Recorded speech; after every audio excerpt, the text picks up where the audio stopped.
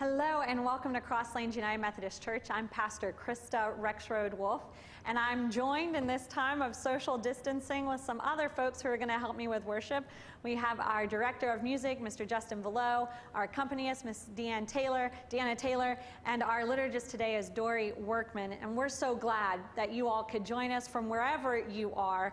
I'm imagining. Um, I'm imagining all of you in the pew here. This is stranger than I thought it would be, but we are glad that we have this way of being together. And so um, this morning, this afternoon, this evening, whenever you happen to be tuning in, we want you to be in a posture of worship with us. Thank you.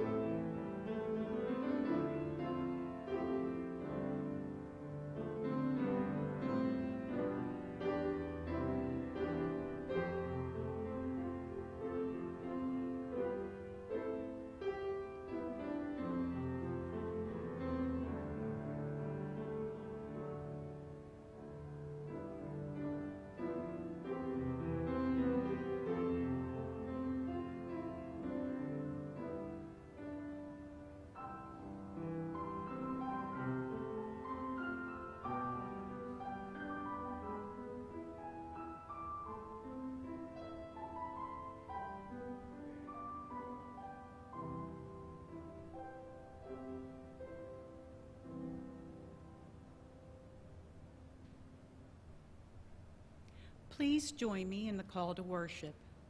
Remember your baptism and be thankful.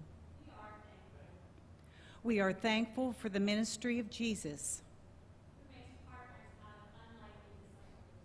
and who gives them the tools that they need to do likewise. We are thankful for the body of Christ.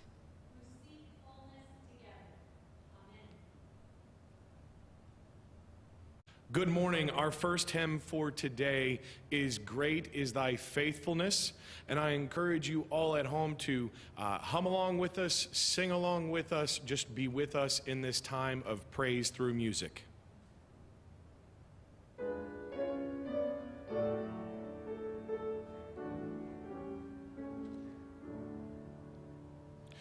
Great is thy faithfulness. O God, my Father, there is no shadow of turning with thee. Thou changest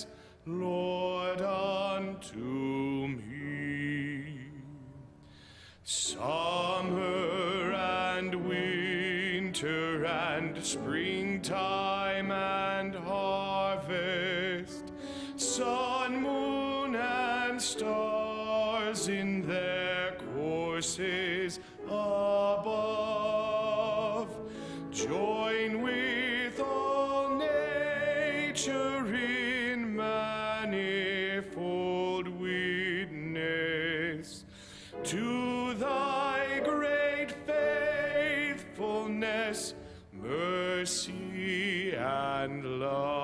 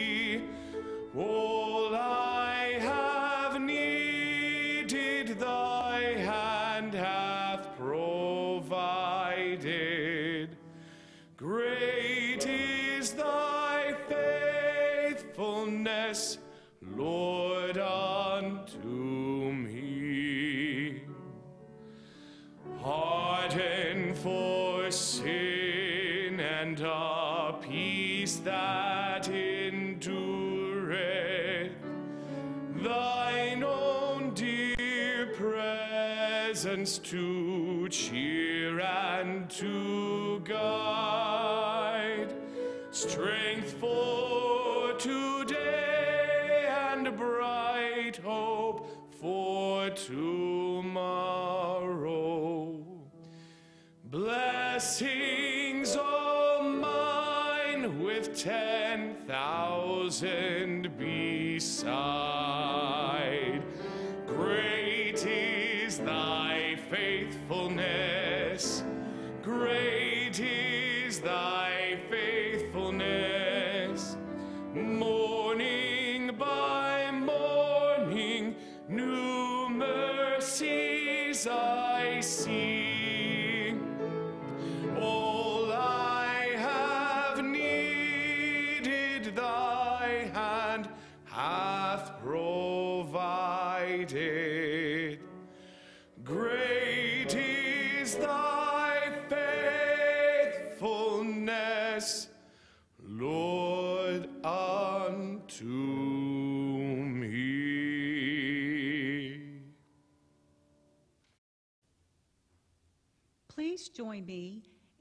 unison prayer. O God, thank you for thinking of us as a people worth saving. Thank you for using your power to make wholeness accessible to us. Help us be people who use our gifts for others. Help us be people who open doors, eyes, and possibilities for those who have lost hope. Amen.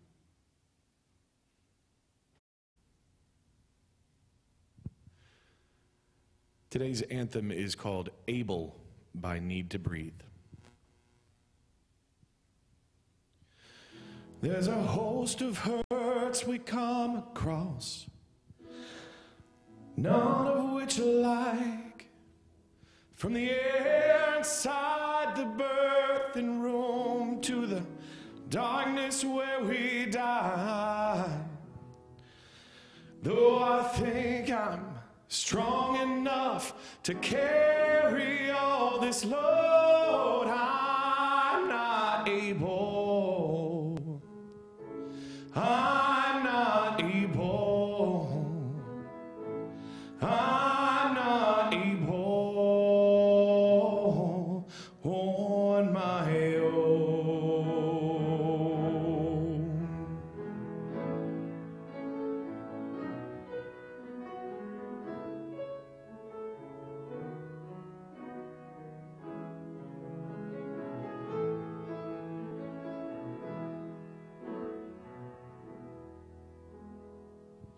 Carry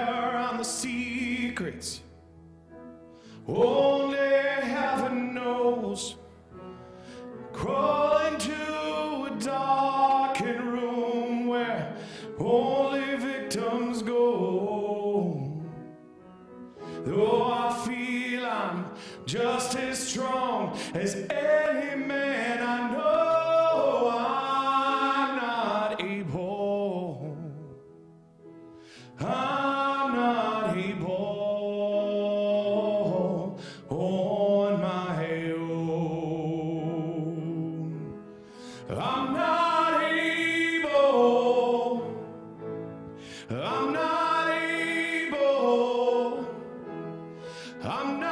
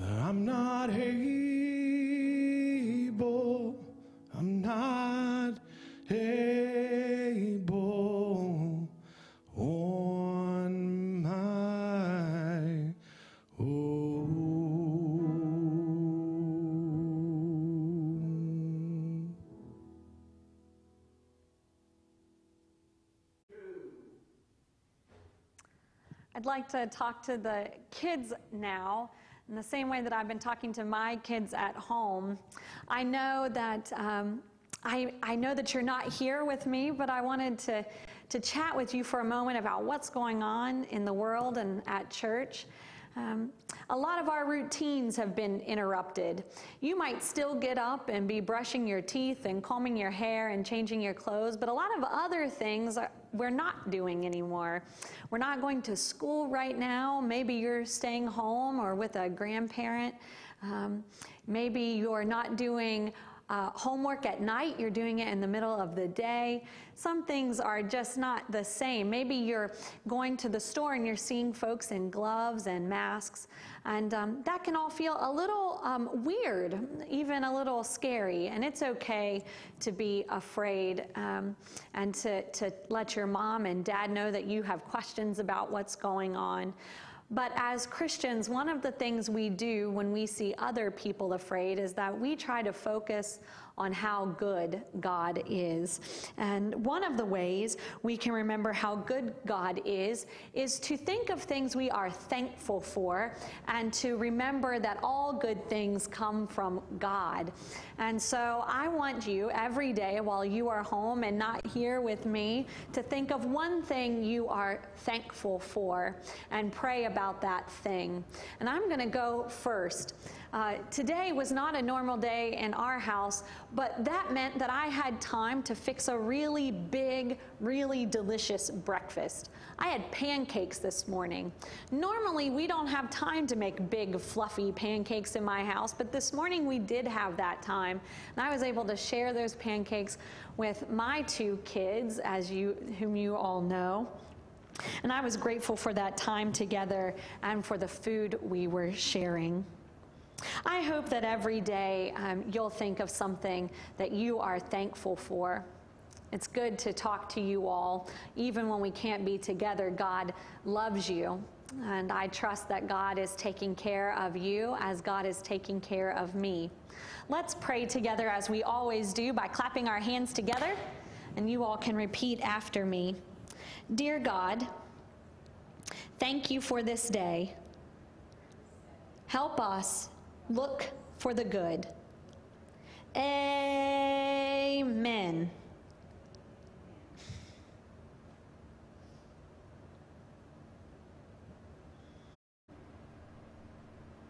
Every week at Cross Lanes United Methodist Church, we share together, we multiply our joys, and we divide one another's burdens so that they're easier to carry.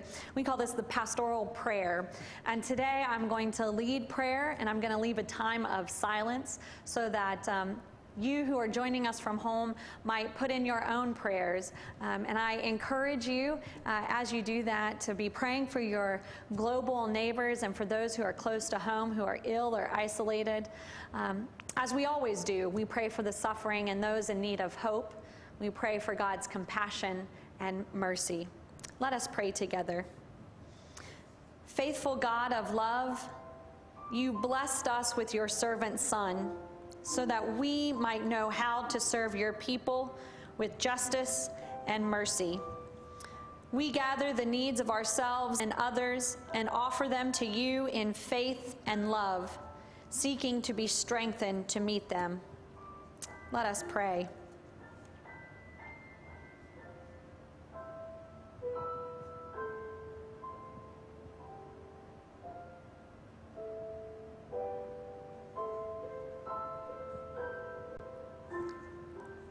Oh God, shape us and transform us by your grace, that we may grow in wisdom and in confidence, never faltering until we have done all that you desire to bring your realm of shalom to fulfillment. In the name of God the Father, God the Son, and God the Holy Spirit. Amen. We also offer every week a time to receive gifts from the congregation, offerings and tithes. And even though we are not together today, we still um, seek opportunities to serve in this way. At Cross Lanes United Methodist Church, every week when we receive the offering is a time of prayer. Today, I encourage you to pray, Oh God, what do you require of my time, my talent, and my treasure. And as you pray, um, you can think about um, giving your offering in one of two ways. You can call the church office, and the secretary will help you set up electronic giving, or you can mail your check to the church's address on your screen. Let us give God thanks for this opportunity to give out of our abundance.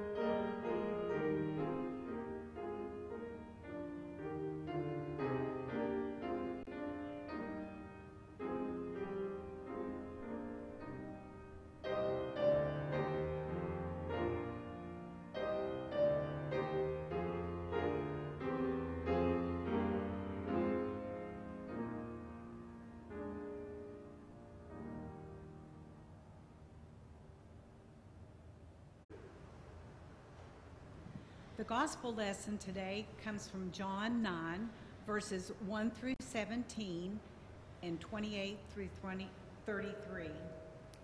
As he walked along, he saw a blind man from birth. His disciples asked him, Rabbi, who sinned, this man or his parents, that he was born blind? Jesus answered, Neither this man nor his parents sinned. He was born blind so that God's works might be revealed in him. We must work the works of him who sent me while it is day. Night is coming when no one can work. As long as I am in the world, I am the light of the world. When he said this, he spat on the ground and made mud with the saliva and spread the mud on the man's eyes, saying to him, Go wash in the pool of Siloam, which means sent. Then he went and washed and came back able to see. The neighbors and those who had seen him before as a beggar began to ask, Is this not the man who used to sit and beg? Some were saying, It is he. Others were saying, No, but it is someone like him. He kept saying, I am the man. But they kept asking him, Then how were your eyes opened? He answered, the man called Jesus made mud, spread it on my eyes, and said to me, Go to Siloam and wash. Then I went and washed and received my sight. They said to him, Where is he? He said, I do not know. They brought to the Pharisees the man who had formerly been blind. Now it was Sabbath day when Jesus made mud and opened his eyes. Then the Pharisees also began to ask him how he had received his sight. He said to them, He put mud in my eyes. Then I washed, and now I see. Some of the Pharisees said, This man is not from God, for he does not observe the Sabbath. But others said, How can a man who is a sinner perform such signs? And they were divided. So they said again to the blind man, What do you say about him? It was your eyes he opened, he said. He is a prophet. Then they reviled him, saying, You are his disciple, but we are disciples of Moses. We know that God has spoken to Moses, but as for this man, we do not know where he comes from. The man answered, Here is an astonishing thing. You do not know where he comes from, and yet he opened my eyes. We know that God does not listen to sinners, but he does listen to one who worships him and obeys his will. Never since the world began has it been heard that anyone opened the eyes of a person born blind.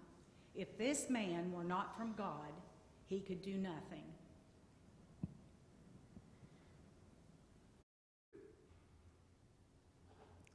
The scripture for today says Jesus was walking along when he found the man born blind, but really what Jesus was doing was slinking along. He had just finished an argument which happens a lot in the Gospel of John. The entire middle part of the Gospel is a series of stories in which Jesus performs signs and miracles, and those signs and miracles divide those who witness them some into believing that Jesus is the Son of Man, and some into believing that he is nothing more than a dangerous populist. In the story that happens right before Jesus meets the man born blind, Jesus is arguing with his opposition about eternal life. Jesus claimed that those who believed in him would not die, which sounded strange to many who loved the stories of their ancestors Moses, Abraham, Isaac, and Jacob. The people knew that their beloved faith fathers were dead. So, who was Jesus to claim that people would never die? Was he greater than their fathers of faith?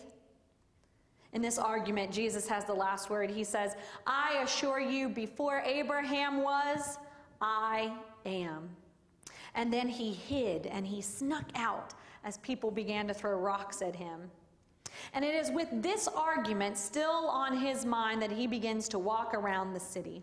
Now, I can't know what Jesus was thinking, but I imagine as he came upon the one described as a man who was blind from birth, Jesus starts to think to himself sight really belongs to those who are willing to see God at work in the world, to believe that God has not finished building the faith with the ancestors. It continues.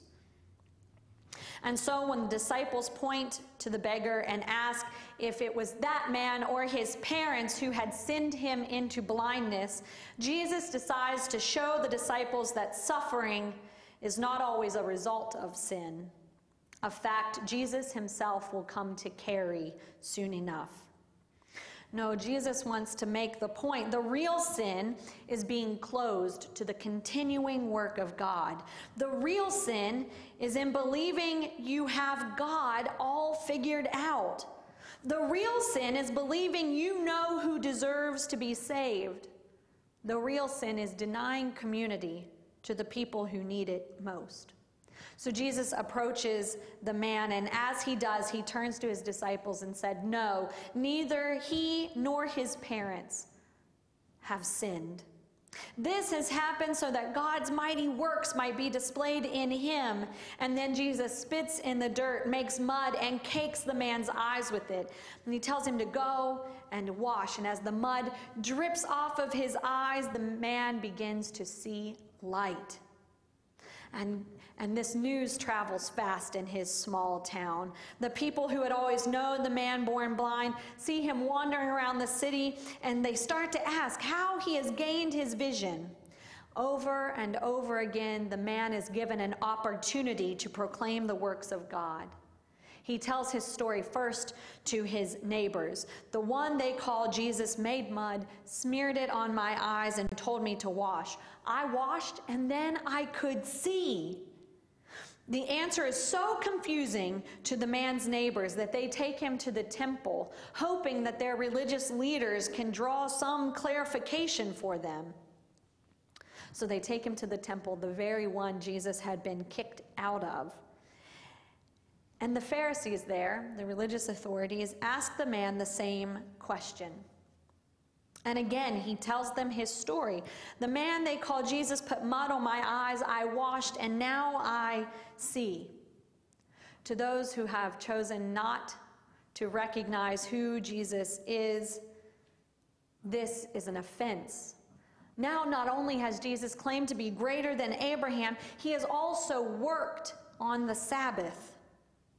The neighbors and the temple leaders are confronted with good news, but many of them choose to only see the answers, only to interpret the man's experience in a way that fortifies what they think they already know about God. In verse 16, some of them say, This man isn't from God, he breaks Sabbath law.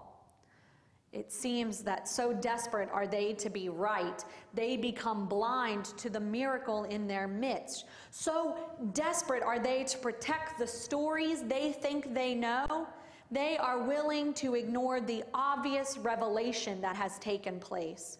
So desperate are they to cling to their own power, they will do anything to make sure the powerless stay that way. They don't want to see the man born blind with sight because if he can see, and if Jesus is the reason he can see, everything they know is undone. They are afraid of what they cannot control. They are afraid of uncharted waters. They are afraid of letting go of one way of life, and so they do not see the new way of doing life that Jesus brings. Between verses 1 and 41, the man born blind bears witness to God's work through Jesus seven times, proclaiming over and over and over again the truth he has experienced. And eventually, that truth gets him expelled from the temple altogether. Not one person along the way was willing to believe with him that God was doing a new thing. Not his neighbors, not his parents, not his religious role models. But this man was convicted by his experience, and he allowed nothing, no one, to diminish the good news he had to share. As the recipient of a miracle, this man is special, but his real gift is not the gift of physical sight.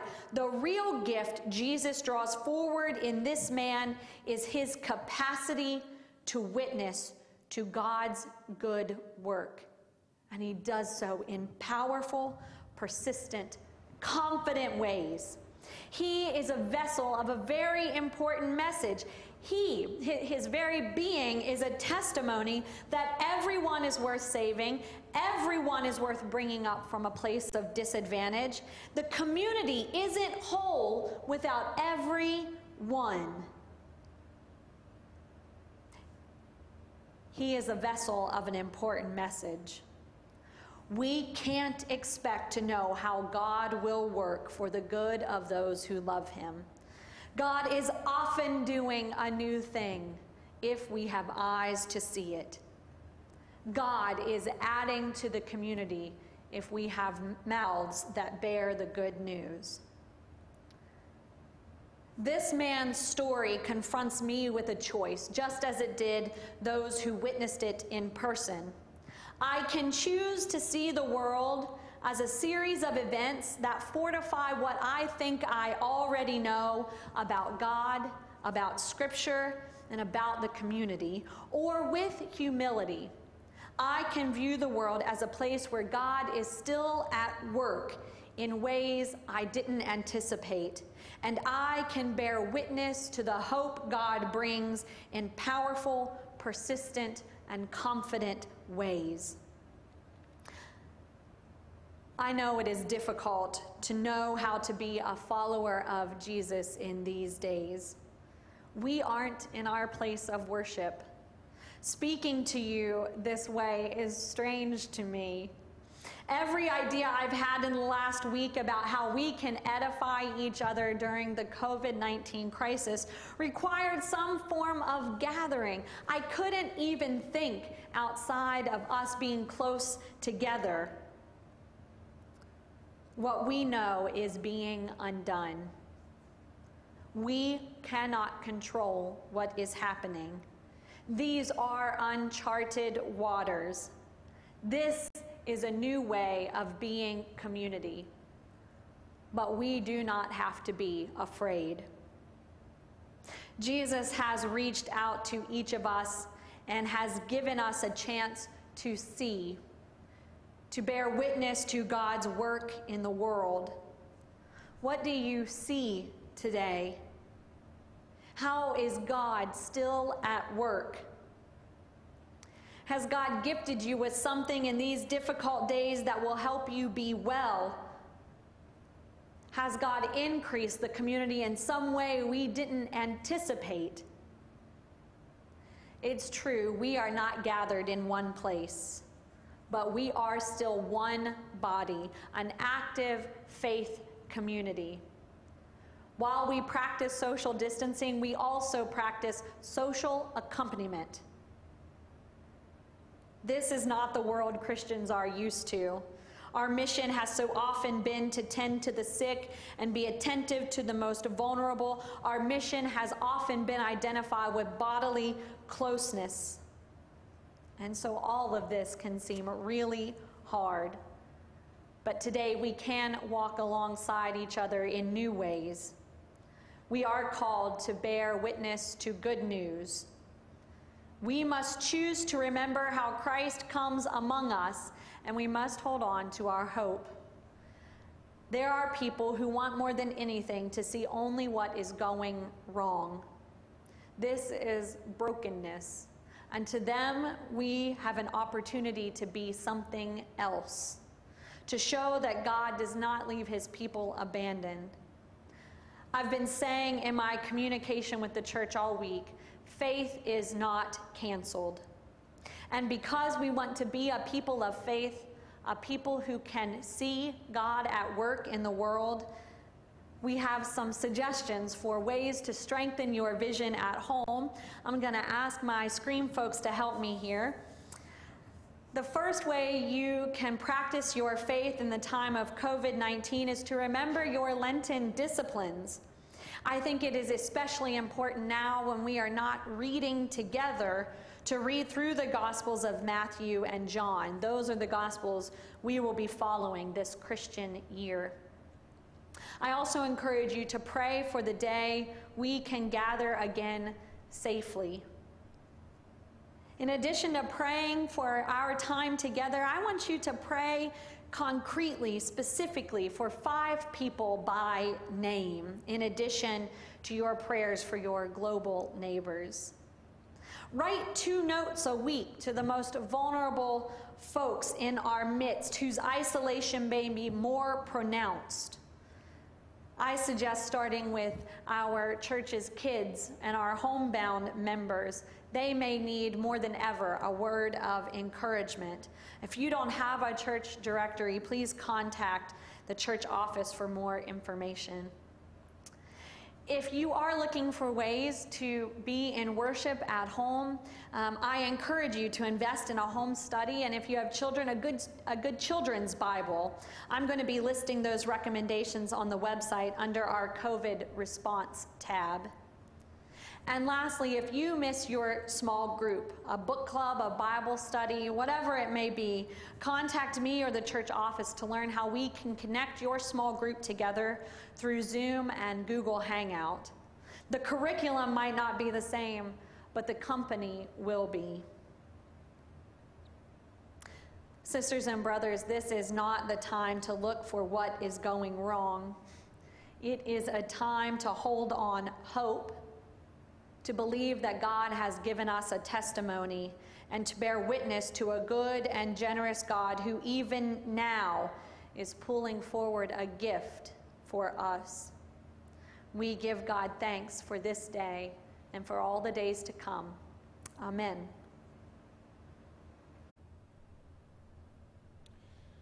For our invitational hymn today, we are going to be singing His Name is Wonderful. And during the invitational hymn, when we are joined together, Krista invite, Pastor Krista invites us all to uh, take a trip to the altar rail if necessary and gain support. And I encourage you during this time to reflect on your needs and, and spend the time in prayer as you join and sing with us today's invitational hymn, His Name is Wonderful.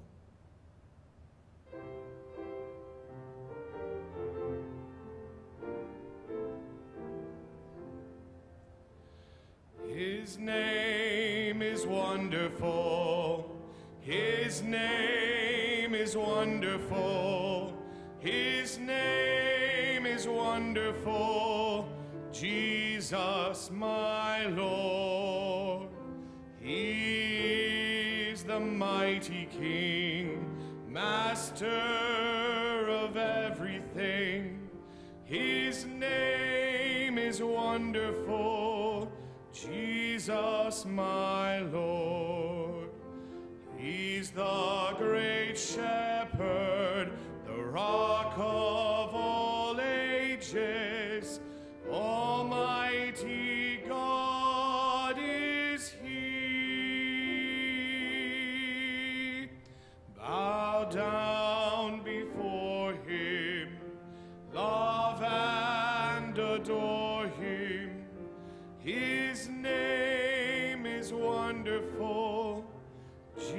Jesus, my Lord.